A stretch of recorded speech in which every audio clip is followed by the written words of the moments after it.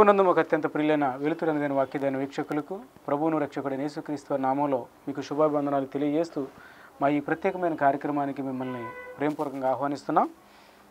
నాణ్యమైన మరియు వివరణాత్మకమైన బైబిల్ యొక్క బోధన అందించడం మా ఈ కార్యక్రమం యొక్క ముఖ్య ఉద్దేశం. మాతో కలిసి అనుదినం మీరు లేఖనాలను ధ్యానిస్తున్న విధానాన్ని బట్టి ప్రభువుని మేము ఎంతగానో స్థుతిస్తూ ఉన్నాం. రండి ఈరోజు మన ధ్యానాంశంలో భాగంగా మత్స్య వార్త ఇరవై రెండో అధ్యాయము పదిహేనవ వచనం నుంచి ముప్పై మూడు వచనం వరకు మనం ధ్యానించాలి. మత్తి సువార్త ఇరవై రెండు అధ్యాయం పదిహేను వచనం నుంచి ముప్పై మూడు వచనాలని రెండు భాగాలుగా మనం విభజించవచ్చు. పదిహేను వచనం నుంచి ఇరవై రెండవ వచనం వరకు ఆ పారాగ్రాఫ్ దేని గురించి తెలియజేస్తుందంటే కైసరువి కైసరువికి దేవునివి దేవునికి చెల్లించాలి అన్న దాని గురించి దేవుడు వివరిస్తూ ఉన్నాడు. ఇరవై మూడో వచనం నుంచి ముప్పై మూడో వచనం వరకు రెండో భాగంగా ఆ, పునరుద్ధానాన్ని గురించి సద్దుకైల యొక్క చిక్కు ప్రశ్న దాని గురించి తెలియజేస్తూ ఉంది. మొదటగా మనం మత్స్యవార్త ఇరవై రెండు అధ్యాయము పదిహేను వచనం నుంచి ఇరవై రెండు వచనాలు మనం ధ్యానించాలి. ధ్యానించడానికి ముందు ఈ ఇరవై రెండు అధ్యాయంలో యేసుక్రీ ఇరవై రెండు అధ్యాయానికి ఒక పేరు మనం పెట్టొచ్చు. అనేక రకాల సందేహాలు అక్కడ ఉన్న పరిశైలు కానీ శాస్త్రులు కానీ సద్దుకైలు కానీ లేకపోతే హేరోదీయులు కానీ యేసుక్రీస్తు ప్రభువారిని అడగటం మనం చూస్తూ ఉంటాం. కాబట్టి దీనికి ప్రశ్నల అధ్యాయం అని కూడా కొంతమంది మాట్లాడుతూ ఉంటారు. అయితే యేసుక్రీస్తు ప్రభువారిని వాళ్ళ ప్రశ్నల్లో చిక్కు పెట్టడం కోసం చిక్కు ప్రశ్నలు అడగటం కోసం మూడు వేరువేరు బృందాలు ఆయన దగ్గరకు వచ్చినట్లు ఈ మనకు కనిపిస్తూ ఉంటాయి ఆ మూడు బృందాలు ఒకటి పరిసైలు సద్దుకైలు మూడోది హేరోదీల గుంపు ఆయనను పదే పదే శోధిస్తూ ప్రశ్నలు అడగటం మనం చూస్తూ ఉంటాం. పదిహేను పదహారు వచనాలు చూస్తే అప్పుడు పరిశైలు వెళ్ళి మాటల్లో ఆయన చిక్కుపరచవలనని ఆలోచన చేయొచ్చు బోధకుడా నీవు సత్యవంతుడు ఉండి దేవుని మార్గం సత్యముగా బోధించున్నావనియు నీవు ఎవరిని లక్ష్య పెట్టవనియు మోమాటం లేనివాడవనియు ఎరుగుదుము. ఇక్కడ పరిసయులు అనే ఒక గుంపు అంటే యూదుల్లోనే వీళ్ళు ఒక గుంపుగా ఉండేవాళ్ళు సద్దుకైలు మరొక గుంపు ఉండేవాళ్ళు. ఈ పరిసయులకి సద్దుకైలకి రక సిద్ధాంతపరంగా రకరకాల భిన్నాభిప్రాయాలు ఉండేవి. పరిసయులు పునరుద్ధానం ఉందని నమ్మేవాళ్ళు దేవదోతలు ఉనికిని వాళ్ళు నమ్మేవాళ్ళు ఆచి మహా అద్భుతాలు జరుగుతున్నాయని పరిసయులు నమ్ముతారు. కానీ సద్దుకైలకు వచ్చేసేపాటికి పునరుద్ధానాన్ని వాళ్ళు నమ్మరు శరీర పునరుద్ధానం లేదు అంటారు దేవదూతల ఉనికి లేదు అంటారు సద్దుకాయలు తర్వాత మహత్కార్యాలు అద్భుతాల గురించి అంత పెద్దగా నమ్మకం సద్దుకైలకు ఉండదు. ఈ ఇద్దరు సన్హెడ్రిన్ సభలో సభ్యులుగా ఉన్నప్పటికీ చాలా సిద్ధాంతపరమైన విభేదాలు వీళ్ళిద్దరి మధ్య ఉండేవి. బద్ధశత్రుత్వం కొనసాగుతూ ఉండేది. అయితే యేసుక్రీస్తు ప్రభువారిని గురించి నా ఆ చిక్కులు పెట్టి ఆ ప్రశ్నల విషయంలో వీళ్ళిద్దరూ ఏకీభవించి ఆయన దగ్గరికి రావటం మనం చూస్తూ ఉంటాం. అయితే పరిశీలి ఆయన దగ్గరకు వచ్చి ఆయన గురించి ఒక మాట అంటున్నారు. మాటల్లో ఆయన చిక్కుపరచాలని ఆలోచన చేశారు. సాక్షాత్తు దేవుడైన యేసుక్రీస్తు ప్రభు వారిని మాటల్లో ఆయన్ని చిక్కులు పెట్టాలి. ఆయనకి పెద్ద పెద్ద ప్రశ్నలు అడిగి ఆయన సమాధానాలు సరిగ్గా చెప్పకపోతే ఆయన్ని ప్రజల్లో చులకన భావం కలిగించాలని లేకపోతే ఆయన ఏదో ఒక విధంగా ఇబ్బందులకు గురి చేయాలన్న దృక్పథంతో పరిసయులు చిక్కుపరచాలని ఆయన్ని ఒక ప్రశ్న అడుగుతున్నారు. ప్రశ్న అడగడానికి ముందు యేసుక్రీస్తు ప్రభు వారి గురించి వాళ్ళు ఏమనుకుంటున్నారో దాన్ని కూడా వాళ్ళు కపటంగా అడుగు మాట్లాడి చెప్తా ఉన్నారు. ఏమనంటే నీవు సత్యవంతుడు ఉన్నావు దేవుని మార్గంను సత్యంగా బోధిస్తున్నావు నీవు ఎవరిని లక్ష్య పెట్టని మోమాటం లేనివాడవని ఎరుగుదుము. యేసుక్రీస్తు ప్రభు వారి గురించి వాళ్ళకి అర్థమైంది ఏంటంటే దేవుని యొక్క మార్గాన్ని సత్య మార్గాన్ని సత్యంగా బోధించే వ్యక్తి అని. రెండోది ఎవరిని లక్ష్య పెట్టని మోమాటం లేని దేవుడని యేసుక్రీస్తు ప్రభు వారి గురించి వారికి తెలుసు. ఎందుకంటే ఆయన ఏదైతే వాళ్ళు హృదయాల ఉందో ఆ లోపాన్ని ఆయన బట్టబయల్చి చెప్తా ఉండేవాడు. మొమాట పడేవాడు కాదు.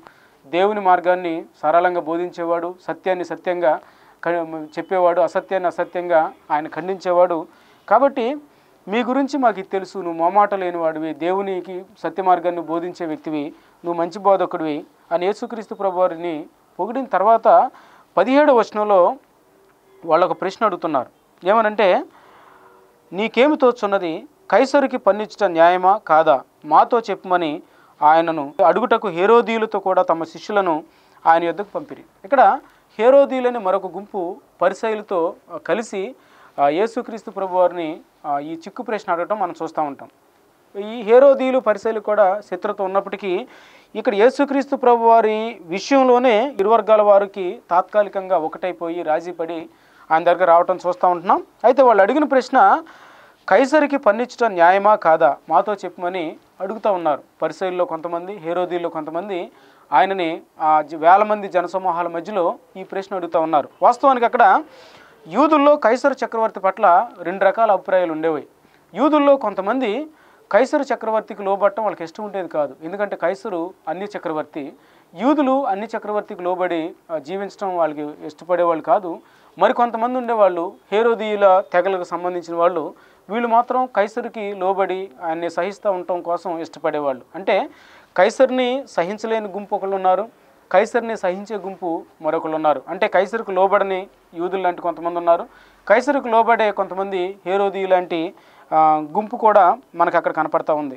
అయితే యేసుక్రీస్తు ప్రభు వారి యొక్క సమాధానం ఏదైనప్పటికీ అంటే కైసరికి పని ఇవ్వటం న్యాయమన్నా అన్యాయం అన్నా సరే ఏదో ఒక వర్గానికి అది విభేదాన్ని కలిగించే విధంగా ఉంటుంది. కాబట్టి యేసు ప్రభు వారి యొక్క సమాధానంతో పని లేకుండానే ఆయన చిక్కుల్లో పెట్టాలి.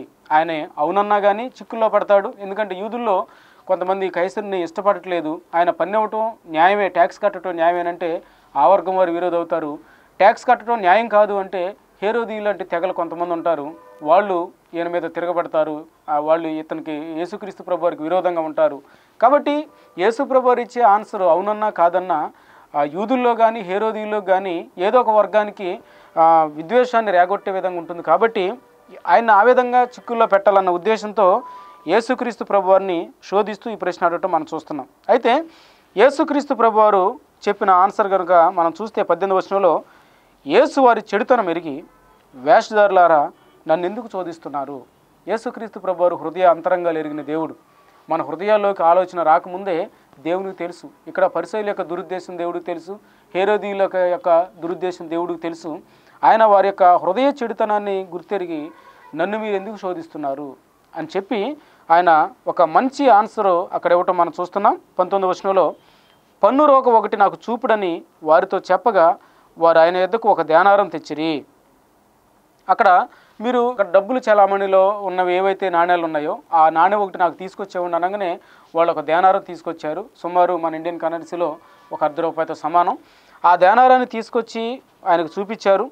ఇరవై వచనంలో అప్పుడు ఆయన ఈ రూపము పైవ్రాతయు ఎవరివని వారిని అడగగా వారు కైసరు అనిది అందుకైనా అలాగైతే కైసరువి కైసరునకును దేవునివి దేవునకును చెల్లించునని వారితో చెప్పెను. ఇక్కడ చూస్తే యూదులు ఇక్కడ ఈ చక్రవర్తి కైసర్ చక్రవర్తిని ఎవరైతే ఇష్టపడట్లేదో యూదులు కానీ ఇస్రాయేలీలు కానీ అక్కడ ఉన్న నాణ్యాలు చూస్తున్నప్పుడు రెండు విషయాలు వాళ్ళకి గుర్తుండేవట. ఆ రెండు విషయాలు ఏంటంటే ఒకటి తాము పరాయి అధికారం కింద ఉండి వారికి పన్ను చెల్లించే వారిగా దాసులుగా ఉన్నామని జ్ఞప్తికి వచ్చి యూదులు బాధపడుతూ ఉండేవాళ్ళు. మేము పరాయి రాజు అధికారం కింద ఉన్నాం కైసర్ చక్రవర్తి అధికారం కింద ఉన్నాం. అన్యాయంగా మేము ఈ పన్నులు చెల్లిస్తూ ఉన్నాం దాస్యత్వం చేస్తూ ఉన్నాం అని దాన్ని వాళ్ళు జ్ఞాపకం చేసుకునేవాళ్ళు. రెండోది ఆ యొక్క బానిసత్వం లేకపోతే ఆ దాసరికం అనేది వారి యొక్క పాపాన్ని బట్టి వచ్చింది అనేది కూడా వారికి జ్ఞాపకం వచ్చేది. అంటే ప్రతి యూదుడు అక్కడున్న ఒక ధ్యానారాన్ని వాళ్ళు చూస్తున్నప్పుడు నాణ్యాన్ని చూస్తున్నప్పుడు ఈ రెండు విషయాలు జ్ఞాపకం వచ్చాయి. ఒకటి మేము పరాయి రాజు అధికారం కింద ఉన్నాం అని వాళ్ళు బాధపడుతూ ఉండేవాళ్ళు. బానిసత్వం చేస్తూ ఉన్నాం దాసులుగా ఉన్నాం అని వాళ్ళకి అది జ్ఞాపకం వచ్చి బాధపడుతూ ఉండేవాళ్ళు. రెండోది ఈ దాసరికం అనేది రోమవారికి తాము బానిసలుగా ఉండటానికి కారణం వాస్తవంగా వారి పాపమేనని ఆ ధ్యానారం చూసినప్పుడల్లా వారు జ్ఞాపకం చేసుకుంటూ ఉండేవాళ్ళు. అయితే యేసుక్రీస్తు ప్రభు వారు చెప్పిన విషయం ఏంటంటే మీరు ఈ పన్ను ఈ ఈ రోక నా దగ్గర తీసుకుని రండి ధ్యానారం నా దగ్గర తీసుకుని రండి దాని పైవ్రాత అక్కడున్న ఫోటో బొమ్మ ఎవరిదంటే కైసరువి అని చెప్పారు. అయితే మీరు కైసరువి కైసరికి ఇవ్వాలి దేవునివి దేవునికి ఇవ్వాలి అని యేసుక్రీస్తు ప్రభువారు ఆన్సర్ వాళ్ళకి చెప్పడం మనం చూస్తూ ఉన్నాం. అంటే విశ్వాసకి రెండు రకాల పౌరసత్వాలు ఉన్నాయని మనం అర్థం చేసుకోవాలి. ఒకటి ఈ భూమి మీద మనం ఉన్నప్పుడు మానవ ప్రభుత్వానికి విధేయులతగా చూపించాలి దాన్ని ఆర్థికంగా బలపరచాలి. ఈ ప్రభుత్వం యొక్క పరిపాలన గురించి చెడు మాట్లాడకూడదు లేక దాన్ని కూలద్రోయటానికి పడగొట్టడానికి ఒక విశ్వాసి ఎప్పుడు కూడా ప్రయత్నించకూడదు. అంతేకాదు అధికారంలో ఉన్నవారి కోసం ప్రార్థించాలి. అంటే ఈ భూమి మీద మనం జీవిస్తున్నప్పుడు ఇక్కడున్న ప్రభుత్వాలైనా ఇక్కడున్న అధికారులైనా ఇక్కడున్న రాజులైనా ఎవరైనప్పటికీ దేవుడు ఒక వ్యక్తికి అధికారం ఇస్తేనే తనకు అనుగ్రహించబడిందని మనం జ్ఞాపకం చేసుకోవాలి. దేవుడిచ్చిన అధికారానికి మనం లోబడుతూ ఉండాలి మన పైనున్న అధికారుల్ని మనం గౌరవిస్తూ ఉండాలి పైనున్న నాయకుల్ని పైనున్న రాజుల్ని మనం గౌరవించాలి వారికి మనం లోబడుతూ ఉండాలి విధేయత చూపించాలి అంతే తప్ప ప్రభుత్వాలని పడగొట్టడం కోసం ప్రయత్నం చేయకూడదు అనేది మనం జ్ఞాపకం చేసుకోవాలి. అందుకని అపోస్తులైన పౌలు తిమోతికి రాసిన మొదటి పత్రిక రెండో అధ్యాయం మొదటి రెండు వచనాలు కనుక చూస్తే మనం ఈ భూమి మీద సంపూర్ణ భక్తి మాన్యత కలిగి ఉండటం కోసం మనము సంపూర్ణ భక్తియు మాన్యతయు కలిగి నెమ్మదిగాను సుఖముగాను బ్రతుకు నిమిత్తము అన్నిటికంటే ముఖ్యంగా మనుషులందరి కొరకును రాజుల కొరకును అధికారుల కొరకును విజ్ఞాపనలను ప్రార్థనలను యాచనలను కృతజ్ఞతాస్థుతులను చేయవలనని హెచ్చరించున్నాను. ఇక్కడ అపోస్తులైన పౌలు తిమోతికి రాస్తే ఏమంటాడంటే మనం ఈ భూమి మీద సుఖంగా బ్రతకాలంటే మనం సంపూర్ణ భక్తి భూమి మీద చేయాలంటే మనం మన పైనున్న నాయకుల కోసం మన పైనున్న అధికారుల కోసం రాజుల కోసం అధిపతుల కోసం ప్రభుత్వాల కోసం ప్రార్థన చేయాలి. వాటిని విమర్శించే పని మనం పెట్టుకోకూడదు. దేవుడు ఎందుకనో మన పైన కొంతమందిని ముఖ్యమంత్రులుగానో ప్రధానమంత్రులుగానో ఒక ఒక వ్యక్తికి దేవుడు ఒక అధికారాన్ని ఇచ్చినప్పుడు ఆయనకు ఒక ఉద్దేశం ఉంది. ఆ ఉద్దేశాన్ని బట్టి దేవుడు ఎవరికైతే అధికారాలు ఇవ్వాలనుకుంటున్నాడో అధికారాలు ఇస్తున్నాడు. అధికారానికి మనం లోబడుతూ ఉండాలి. ఇది ఇక్కడున్న మానవ ప్రభుత్వానికి విశ్వాసిగా మనం విధేయత చూపించాలి. దేవుడు చెప్పింది అదే కైసరివి మీరు కైసరికి ఇవ్వాలి పన్నులు చెల్లించే విషయంలో ఈనాడు చాలామంది దేశానికి చెల్లించే పన్నుల విషయంలో ట్యాక్స్ కట్టకుండా విశ్వాసులైనప్పటికీ తప్పించుకోవటం చాలా విచారించదగిన విషయం అని మనం గమనించాలి. ఎందుకనంటే ప్రభుత్వాలను మనం కాపు గౌరవించాల్సిన బాధ్యత మన మీద ఉంది. దాన్ని కాపాడుకోవాల్సిన బాధ్యత మన మీద ఉంది. కాబట్టి పన్నులు కట్టే విషయంలో న్యాయంగా మనం ప్రభుత్వానికి చెల్లించాల్సిన పన్నులు మనం చెల్లించాలి మన ఆదాయాలను బట్టి. అంతే తప్ప ఏదో ఒక సాకు చూపించి ఆ పన్నులు మనం యాజ్ ఎ బిలీవర్గా మనం తప్పించుకోకూడదు అనేది దీన్ని బట్టి మనం దేవుడు మనతో మాట్లాడుతున్నాడు. కైసరువి కైసరుకు చెందాలి ప్రభుత్వాన్ని ప్రభుత్వానికి చెందాలి. అంత మాత్రమే కాదు దేవునివి దేవునికి చెందాలి. ఒకటి మానవ ప్రభుత్వ అధికారానికి మనం లోబడి ఉండాలి. రెండు దైవ ప్రభుత్వం అనేది ఒకటి ఉంది. అంటే పరలోక రాజ్య పౌరసత్వం మనకుంది. పరలోక పౌరుడిగా విశ్వాసి దేవునికి విధేయుడు కావలసిన బాధ్యత కూడా ఉంది అనేది మనం గమనించాలి. ఎందుకనంటే మనల్ని సృష్టించిన సృష్టికర్త ఉన్నాడు. మనల్ని ఒక ఉద్దేశంతో ఈ భూమి మీద తీసుకుని వచ్చాడు. కేవలం ఈ అరవై డెబ్బై సంవత్సరాలు బ్రతకటానికి మాత్రమే ఆయన ఈ జీవితాన్ని మనకి ఇవ్వలేదు. ఆయనతో పాటు యువయుగాలు తనతో జీవింపజేసుకోవాలని తనతో మనల్ని ఉంచుకోవాలని దేవుడు ఒక ఉన్నతమైన ఉద్దేశంతో మనల్ని సృష్టించాడు. పరలోక రాజ్య పౌరసత్వాన్ని మనకి యేసుక్రీస్తు ప్రభువు ద్వారా అనుగ్రహించాడు. కాబట్టి మనకి పౌరసత్వం ఉంది అనేది కూడా గుర్తుపెట్టుకొని దేవునికి మనం విధేయత చూపించాలి. ఒకటి ప్రభుత్వానికి మనం విధేయత చూపించాలి. రెండు దేవునికి మనం విధేయత చూపించాలి. ఎందుకంటే కైసరు కైసరు చెందాలి. దేవునికి దేవునికి చెందాలి. ఇక్కడ పరిసయులు సద్దుకైలు ప్రభుత్వానికి చెల్లించే పనిలో ఉన్నారులే కానీ వారిలో చాలామంది న్యాయంగా దేవునికి ఇవ్వాల్సిన డబ్బులు దేవునికి ఇవ్వకుండా కపట భక్తిని వాళ్ళు ప్రదర్శించడం ఇక్కడ దేవుడు వారితో కూడా సూటిగా మాట్లాడుతున్నారు. అంటే వారు దేవునికి చెల్లించాల్సిన చెల్లించలేదు అన్న డొలతనం అనేది ఇక్కడ వారి యొక్క డొలతనం బయటపడటం మనం చూస్తూ ఉన్నాం. ఒకవేళ ప్రభుత్వానికి మనం లోబడుతూ దేవునికి మనకు లోబడుతున్న సందర్భంలో ఈ రెండింటికి మధ్య ఏదైనా వ్యత్యాసం వస్తే ఏదైనా పోరాటం వస్తే ఒక విశ్వాసిగా క్రైస్తవుడిగా చేయాల్సింది ఏంటంటే దేవుని యొక్క అధికారానికి మనం లోబడాలి అనేది మనం జ్ఞాపకం చేసుకోవాలి. చూడండి అపోస్తుల కార్యాలు ఐదో అధ్యాయంలో ఇరవై తొమ్మిదో వచ్చినాన్ని మనం చూస్తే అందుకు పేతురును అపోస్తులను మనుషులకు కాదు దేవునికే మేము లోబడవలను కదా? ఇక్కడ చూడండి ఎప్పుడైతే పేతురు అపోస్తులు అక్కడ ప్రసంగిస్తూ ఉన్నారో అనేక మంది రక్షించబడతా ఉన్నారు అయితే అక్కడ వీళ్ళని పట్టుకొని చెరసాల్లో వేయించి మీరు ఇక నుంచి ప్రకటించకూడదు యేసుక్రీస్తు ప్రభువారిని గురించి మీరు చెప్పకూడదు అని ఖండితంగా వాళ్ళకి ఆజ్ఞాపిస్తే వీళ్ళు ప్రాణాలకు తెగించేవని అంటున్నారంటే మేము దేవునికి లోబట్టో న్యాయమా? మీకు లోబట్టో న్యాయమా? మనుషులకు కాదు మేము దేవునికి లోబడాలి. ఎందుకనంటే దేవుడు మమ్మల్ని సృష్టించాడు. ఒక ఉన్నతమైన ఉద్దేశంతో ఈ భూమి మీదకి మమ్మల్ని తీసుకొని వచ్చాడు కాబట్టి మేము దేవునికి లోబట్టో న్యాయం అనే అంటే ఒక విశ్వాసికి క్రైస్తవుడికి ప్రభుత్వానికి లోబడాలా దేవునికి లోబడాలన్న పోరాటం కనుక వస్తే విశ్వాస ఎప్పుడు కూడా దేవునికి లోబట్టడానికి మొదటి ప్రాధాన్యత ఇవ్వాలి. అంటే మన భక్తికి విరోధంగా లేకపోతే దేవునికి విరోధంగా ఏదన్నా పని చేయమని మనకు ప్రభుత్వాలు ఆదేశించినప్పుడు దేవునికి లోబడాలి తప్ప ప్రభుత్వాలు చెప్పేయని కదా అని చెప్పి దేవుని వాక్యాన్ని మనం పక్కన పెట్టి ప్రభుత్వానికి మనం లోబడి దేవునికి విరోధంగా బ్రతకూడదు. దేవునికి అనుకూలంగా బ్రతుకుతూనే మనకి వాక్యానుసారంగా మనం ప్రభుత్వానికి లోబడాలి. అధికారుల కోసం ప్రార్థించాలి ప్రభుత్వాలను కాపాడుకోవాలి ప్రభుత్వాలను గౌరవించాలి రాజుల్ని మనం గౌరవించాల్సిన బాధ్యత మన మీద ఉందని గుర్తుపెట్టుకోవాలి. ఇది మొదటి విషయం. రెండో భాగంలోకి వెళ్తే ఇరవై మూడో వచ్చిన నుంచి కనుక మనం చూస్తే సద్దుకైల యొక్క పునరుద్ధానాన్ని గురించి సద్దుకైల యొక్క చిక్కు ప్రశ్న మనం గమనించవచ్చు. చూడండి ఇరవై మూడో వచ్చిన నుంచి ముప్పై మూడో వచ్చిన కనుక చూస్తే మనకి పునరుద్ధానం లేదని చెప్పి సద్దుకైలు ఆ దినమున ఆయన యొద్దకు వచ్చి. ఇక్కడ సద్దుకైలు ఒక గుంపు ఉన్నారు యూదుల్లో వీళ్ళొక తెగ. ఈ గుంపు వీళ్ళ యొక్క సిద్ధాంతం ఏంటంటే మనం మొదట్లో చూసినట్టుగానే వీళ్ళు పునరుద్ధానం శరీర పునరుద్ధానం లేదు అంటారు.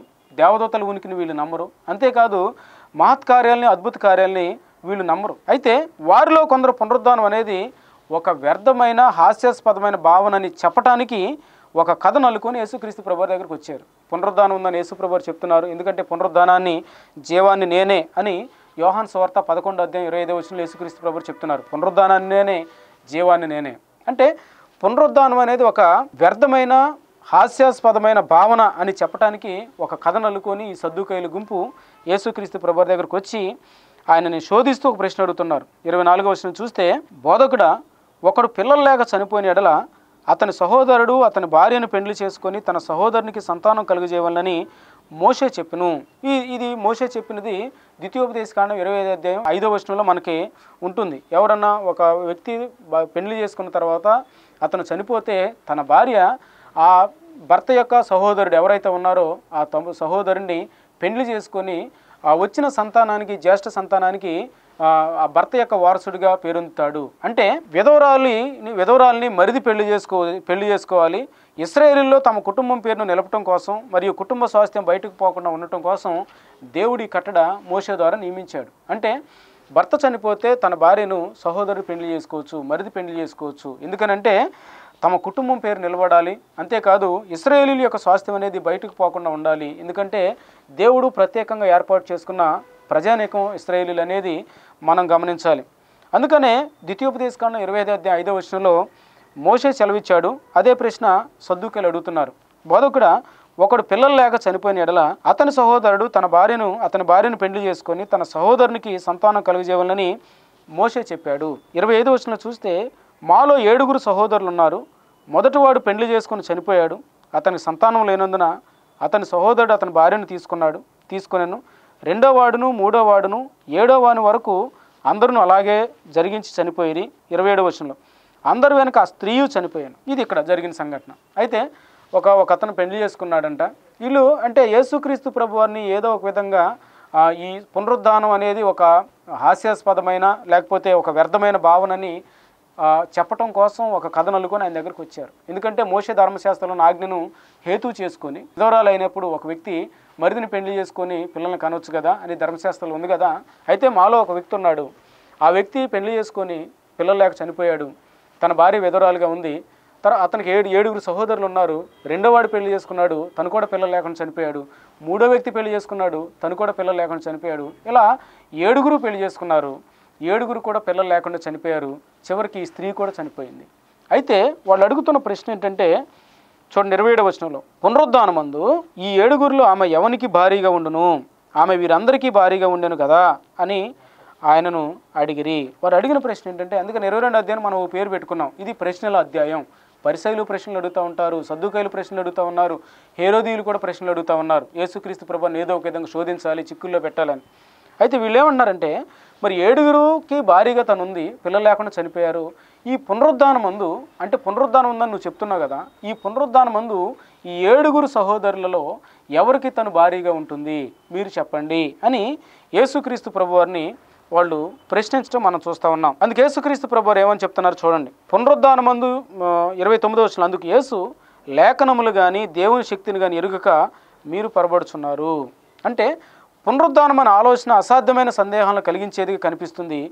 అది సహేతుకంగా లేదు కాబట్టి పునరుద్ధానం వాస్తవం కాదు అన్నది వారి యొక్క ప్రాథమిక వాదం. అంటే అనేకమైన అసాధ్యమే అసాధ్యమైన సందేహాలను కలిగించేది కనిపిస్తుంది. సహేతుకంగా లేదు కాబట్టి పునరుద్ధానం అనేది వాస్తవం కాదు అన్నది వారి యొక్క ప్రాథమిక ఉద్దేశం. ఆ ఉద్దేశాన్ని వాళ్ళు దృష్టిలో పెట్టుకొని ఈ ప్రశ్నను యేసుక్రీస్తు ప్రభు వారి దగ్గర తీసుకొని వచ్చారు. ఇదిగో పునరుద్ధానమందు ఈ స్త్రీ ఏడుగురులు ఎవరికి భారీగా ఉంటుంది? అంటే యేసుక్రీస్తు ప్రభువారు అక్కడ రెండు విషయాలు చెప్తా ఉన్నారు. ఒకటి మొదటగా సద్దుకైలకు లేఖనాల భావం తెలియదు. దేవుడు చెప్తున్నాడు ఇరవై తొమ్మిదో వచనంలో లేఖనములను కానీ దేవుని శక్తిని కానీ ఎరుగక మీరు పొరబడుచున్నారు. అంటే వీరికి లేఖనాల భావం తెలియదు. భార్యాభర్తల సంబంధం పరలోకంలో కూడా కొనసాగుతుందని మన బైబిల్ ఎప్పుడు కూడా చెప్పదు. ఈ సంగతి సద్దుకేలు గ్రహించాలి. అంటే లేఖనాల్లో దేవుడు వాక్యులు ఏం చెప్తున్నాడు?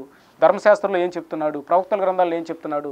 భార్యాభర్తల సంబంధం ఎటువంటిది? ఎక్కడి వరకు ఇది ఉంటుంది? ఈ భూమి మీద వరకే ఉంటుంది భార్యాభర్తల సంబంధం అనేది. పరలోక రాజ్యంలో స్త్రీ పురుషులు ఉన్నప్పటికీ స్త్రీ స్త్రీలాగా పురుషుడు పురుషుల్లాగా ఉన్నప్పటికీ మహిమదేహాలు ధరించుకున్న తర్వాత స్త్రీ స్త్రీ యొక్క దేహాన్ని ధరించుకుంటుంది. పురుషుడు పురుషు యొక్క దేహాన్ని ధరించుకుంటాడు. అయితే పరలోక రాజ్యంలో భార్యాభర్తల మధ్య సంబంధం అనేది కొనసాగదు. అయితే స్త్రీలు స్త్రీలాగే ఉంటారు పురుషులు పురుషుల్లాగే ఉంటారు.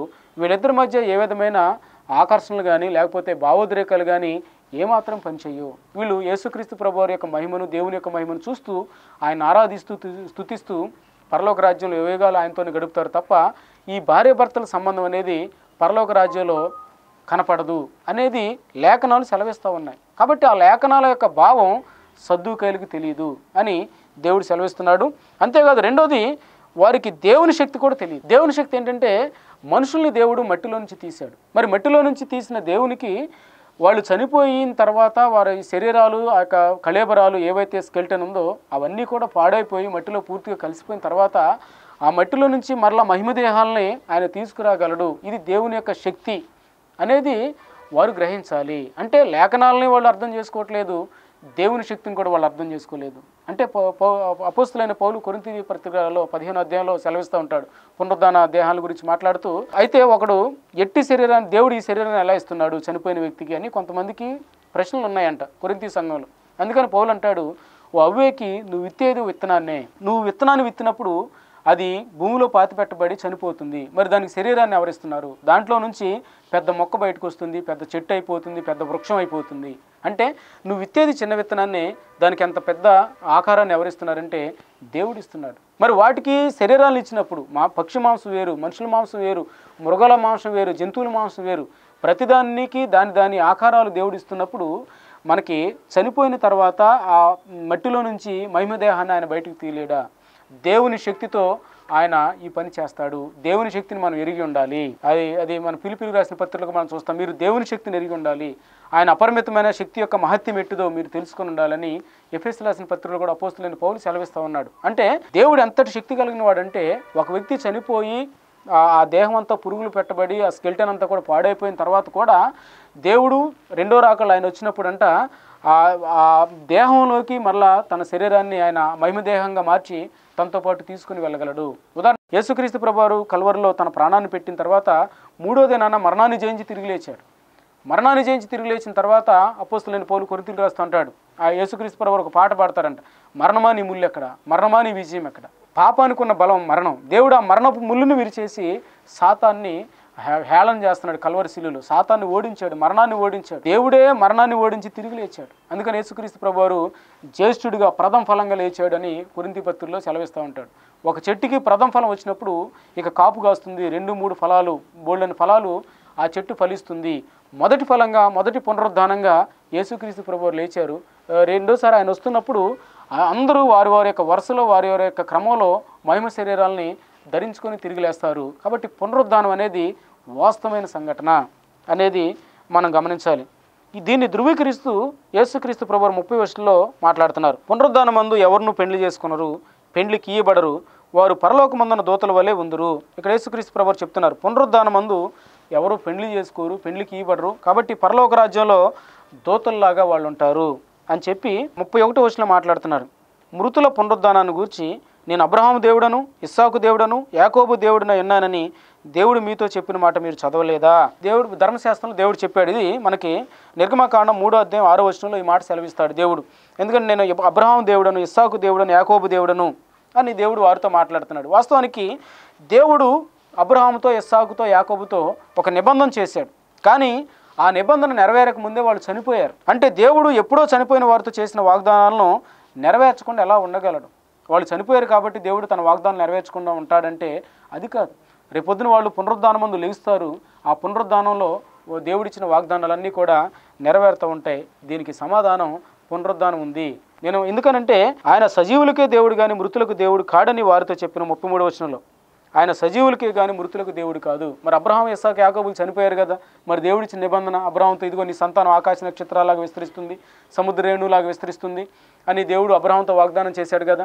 అబ్రహాంలో నుంచి వచ్చిన యేసుక్రీస్తు ప్రభు వారి ద్వారా యేసుక్రీస్తు ప్రభుని అంగీకరించిన వాళ్ళు ఆకాశ నక్షత్రాలాగా అంటే అబ్రహాం యొక్క నిజమైన వారసుడు యేసుక్రీస్తు ప్రభు అని అపస్తులైన పౌలు గలతీలు రాసిన పత్రికలో సెలవిస్తూ ఉంటాడు. అంటే ఎవరైతే అబ్రహాం సంతానం నుంచి వచ్చారో ఆ యేసుక్రీస్తు ప్రభువారు ఆయన నమ్మిన వాళ్ళు సముద్రపు రేణువుల కంటే విస్తారంగా ఆకాశ నక్షత్రాల కంటే విస్తారంగా వాళ్ళు విస్తరించిపోయారు లెక్కకు మించున్నారు. అంటే మరి దేవుడు అబ్రహాము ఇస్సాకు యాకోబులకి ఇచ్చిన వాగ్దానం దేవుడు చెప్పాడు సజీవులకే కానీ మృతులకు దేవుడు కాదు. అంటే వాళ్ళు ఆల్రెడీ చనిపోయారు మరి దేవుడు తన వాగ్దానాలు నెరవేర్చుకుంటూనే వస్తున్నాడు. మరి వాళ్ళు చనిపోయారు కదంటే ఆ చనిపోవటం అనేదే ముగింపు కాదు మానవ జీవితానికి. రేపొద్దున వాళ్ళు లేస్తారు. అబ్రహాం కూడా తన తన వరుసలో పునరుద్ధాన దేహాన్ని సంతరింపజేసుకొని తను కూడా లేచి నిలబడతాడు. ఆ పునరుద్ధానం ఉంది. ఎందుకంటే దేవుడు సజీవులకే దేవుడు. యోబు అంటాడు నా విమోచకుడు సజీవుడని నేను ఎరుగుదును అంటాడు తన కష్టాల్లో. అంటే దేవుడు సజీవులకే దేవుడు కానీ మృతులకు దేవుడు కాదు అని ఎప్పుడైతే యేసుక్రీస్తు ప్రభు వారు చెప్పారో ఆయన సజీవుడు కాబట్టి మనల్ని బ్రతికించగలడు. ఆయన మరణాన్ని జయించి తిరిగి లేచాడు కాబట్టి రేపొద్దున తన నామందు విశ్వాసం ఉంచిన వాళ్ళు కూడా మరణం నుంచి తప్పించి లేస్తాడు. తన నామందు విశ్వాసం ఉంచిన వాళ్ళే కాదు అనుజనులు కూడా మృతులందరూ కూడా లేస్తూ బ్రతికించబడతారు. ఎవరైతే యేసుక్రీస్తు ప్రభుని అంగీకరించారో వాళ్ళేమో జీవ పునరుద్ధానానికి వెళ్తారు. యేసుక్రీస్తు ప్రభువారిని అంగీకరించిన వాళ్ళు తీర్పు పునరుద్ధానానికి అంటే నరకానికి వాళ్ళు తీర్పులో నిలబడి నరకానికి వెళ్తారు అనేది అంటే పునరుద్ధానం అనేది ఉంది. వారు విశ్వాస అయినప్పటికీ అవిశ్వాస అయినప్పటికీ పునరుద్ధానం ఉంది. ఎందుకంటే దేవుడు సజీవులకే దేవుడు కానీ మృతులకు దేవుడు కాదు. కాబట్టి ఈరోజు మనం ధ్యానించిన లేఖన భాగాల్లో గుర్తుపెట్టుకోవాల్సిన ఒక ప్రాముఖ్యమైన విషయం ఏంటంటే రెండు విషయాలు మనం చూసాం. ఒకటి ప్రభుత్వాలకు మనం లోబడి ఉండాలి. ప్రభుత్వాలకి మనం గౌరవించాలి. వాటిని కూలదోచే ప్రయత్నం చేయకూడదు. దేవుడు ఒక వ్యక్తికి అధికారం ఇచ్చినప్పుడు అధికారాన్ని మనం గౌరవించాలి లోబడాలి. కైసరు కైసరుకి అంత మాత్రమే కాదు దేవుని దేవునికి అంటే విశ్వాసకి రెండు పౌరసత్వాలు ఉన్నాయి. మానవ ప్రభుత్వం ఉంది దైవ ప్రభుత్వం ఉంది. మానవ ప్రభుత్వాన్ని మనం గౌరవించి లోబడాలి. ఇక్కడ మనం చేయాల్సిన బాధ్యతాయుతమైన పనులు చేయాలి. విశ్వాసిగా గౌరవించాలి. దేశాన్ని కానీ నాయకులు కానీ అంతేకాదు మనం పరలోక ప్ర- ప్రభుత్వం కూడా మనకుంది. దైవ ప్రభుత్వం. మనం పరలోక పౌరులు అని గుర్తిరిగి దాన్ని మనం దృష్టిలో పెట్టుకొని ఈ లోకంలో మనం జీవించాలి. దేవునికి లోబడుతూ పరలోక ప్రభుత్వానికి లోబడుతూ ప్రభుత్వానికి మనం గౌరవించాలి. అయితే ఈ రెండింటి మధ్య ఏదైనా పోరాటం వచ్చినప్పుడు వ్యత్యాసం వచ్చినప్పుడు నువ్వు ప్రభుత్వానికి లోబడాలా దేవునికి లోబడాలా ఏదో ఒకటి తెలుసుకుని అంటే మనం దేవునికి మాత్రమే లోబడాలి అన్నది మనం గమనించాలి. రెండోదిగా పునరుద్ధానాన్ని గురించి సర్దుకాయల యొక్క చిక్కు ప్రశ్న మనం చూస్తున్నాం. అంటే ఈ సర్దుకాయల దృష్టిలో పునరుద్ధానం అనేది ఒక వ్యర్థమైన హాస్యాస్పదమైన భావన. ఇది అసాధ్యమైన సందేహాలను కలిగించేదిగా ఉంటుంది. తర్వాత సహేతుకంగా లేదు కాబట్టి పునరుద్ధానం లేదు అనేది వారి యొక్క ప్రాథమిక ఉద్దేశంగా యేసుక్రీస్తు ప్రభుని చిక్కుల్లో పెట్టని ఒక కథను అల్లుకొని వచ్చారు. అయితే యేసు ప్రభు చెప్తున్నారు పునరుద్ధానం ఉంది. ఎందుకంటే ఆయనే చెప్పాడు జీవాన్ని నేనే పునరుద్ధానాన్ని నేనే. యోహాన్ సోత పదకొండు అధ్యాయ ఇరవై ఐదు వచ్చినంలో కాబట్టి యేసుక్రీస్తులో మనకి పునరుద్ధానం ఉంది. మనకి మరణమే ముగింపు కాదు. ఈ యుగాలు మనం ఆయనతోనే ఉంటాం. దానికోసమే దేవుడు ఈ భూమి మీదకి వచ్చాడు. కాబట్టి ఈ క్రీస్తునందు విశ్వాసం ఉంచిన వాళ్ళు ఖచ్చితంగా యుగాలు ఆయనతోనే ఉంటారు. నేడే మన హృదయాలు దేవునికి అర్పించుకుందాం. తలవంచండి ప్రార్థన చేసుకుందాం.